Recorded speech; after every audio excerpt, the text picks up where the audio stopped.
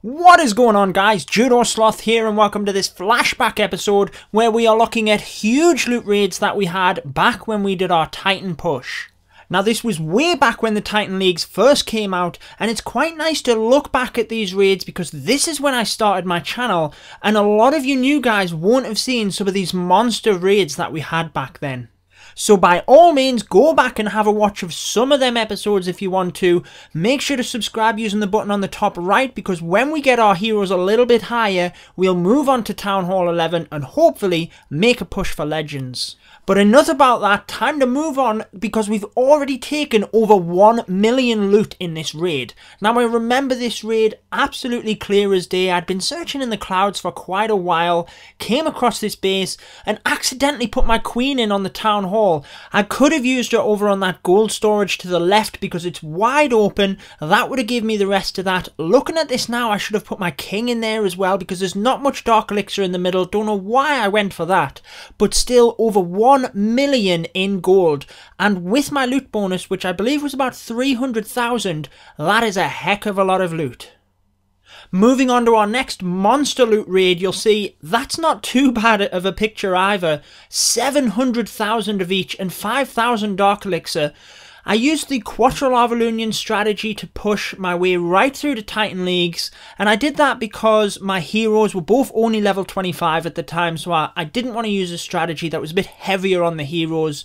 I do have an attack strategy guide video for that as well, links at the top right there if you do want to check that out, but getting back to this raid, the trophies were obviously the most important thing here, but I came in from the left Mainly at the time that was position of the air sweepers in the clan castle and lining up the infernos, but you'll see there's a heck of a lot of storages on that side. I'm able to push my way through them. Do have a couple of minions at the top helping to take out them elixir pumps because a lot of the loot is in there as well. From here, I've already got the 2 star and there's absolutely no chance of me getting the 3 star with just my heroes, so it's just working out where to put them to get the most amount of loot from this now. So I've gotten all of the elixir. Dark elixir is quite difficult to get to, but them gold storages on the right hand side of the core look very tasty. So the heroes are going to help to take out them outside trash buildings first, and then the king changes his mind, goes for that little T-junction, which is quite nice, because it helps my troops get the gold mine, and then allows the queen to turn around, take out that gold storage, whilst the king is still tanking, takes out that Dark Elixir mine, and then as an absolute boss, takes out that second gold storage as well, to once again help secure over 1 million in loot. And with the loot bonus, that equaled over 1.5 million resources in loot, and I got the victory. Doesn't seem like a lot of trophies, but at the time, all I was finding was one and two cup offers, so that amount of trophies with the loot on top was a huge success. Now moving on to the last raid of today, not quite as much loot, but when you find a dead base, it is always a bonus. So I'm attacking from the north on this one, that is because of the direction of the air sweepers, I'm not going to have any problems from them.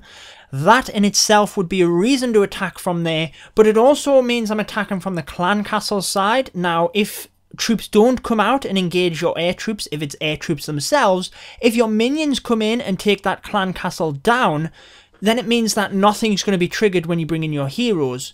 So you'll see that is the case for this raid, but I'm only just past 40%, trying to snipe off a couple of extra buildings with spare minions, but I'm not really going to be able to just push willy-nilly and try and take the rest of the loot. I'm going to have to make sure that I can at least get the 50% from this raid as well, because up in Titan League, that is the main thing. If you're trophy pushing, you do not want to lose.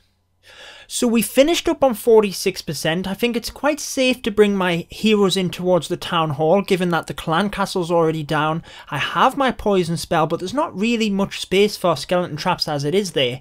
However, I wanted to test the waters with my king first and make sure that it was still safe to bring in my queen towards the town hall, because if my king gets caught up here and goes down very quickly, I can just bail out and take, say, the barracks on the right hand side and ensure that I at least get that victory.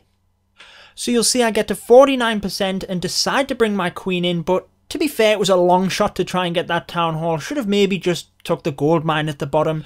Not to worry, I still got 900,000 in loot with my loot bonus that pushes that again to over 1 million and it just shows how much loot you can get when you're trophy pushing or even if you decide to just push up and farm here.